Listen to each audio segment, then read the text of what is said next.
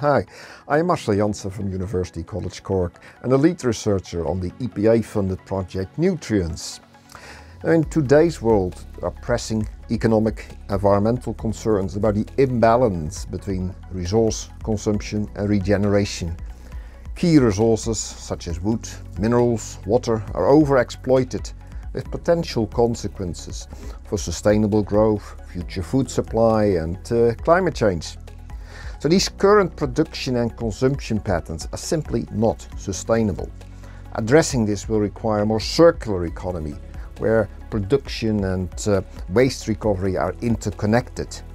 The recovery of resources from waste in particular is crucial for sustainable growth in the future and it will yield new commercial uh, opportunities. In Ireland, dairy processing wastewater is a very high volume, high strength waste stream that requires currently very extensive, costly treatment before the water is discharged to uh, prevent environmental impacts. The Interdisciplinary Newtrients Project developed a pioneering system for valorizing this dairy wastewater. It couples microbial-based technologies with duckweed cultivation and it transforms problematic wastewater into building blocks for production of bioplastics as well as protein-rich animal feedstock.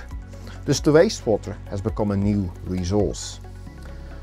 The nutrient system demonstrates effective remediation of wastewater while generating products that can strengthen the local economy, creating new relationships between farmers and industry. We recommend that similar systems are developed to valorize other waste streams, yielding a whole range of new marketable products and transforming Ireland into a zero carbon circular economy. To find out more on our project and its findings, please visit our website or contact us via Twitter at Newtrients/ucc.